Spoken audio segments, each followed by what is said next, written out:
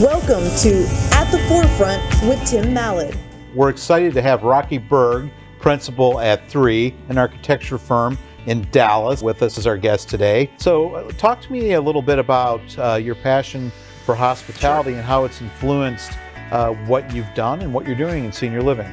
Well, the firm 3 really cut its teeth doing boutique architecture. So we developed an acumen for luxury hospitality, thinking through not just the architecture, but the services and the lifestyle that go with that.